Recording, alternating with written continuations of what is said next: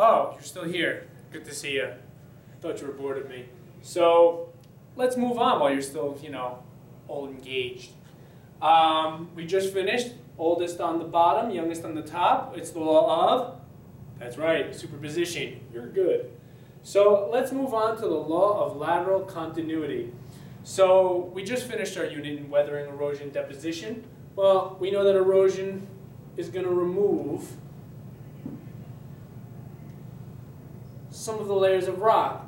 And scientists use this because it exposes things to look at.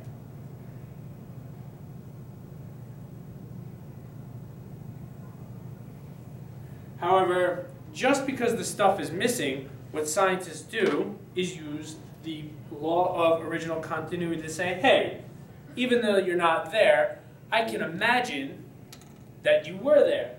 So even though there is no more whatever this actual rock layer might be, we can still look at it and say it used to be there because the law of original horizontality says that everything was deposited as a nice, even, flat, horizontal layer. So this is what we do.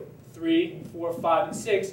Even though we're not there, we know that this section still lines up with this section because it's the same rock. Same thing with the purple, the red, and this green. See you next time.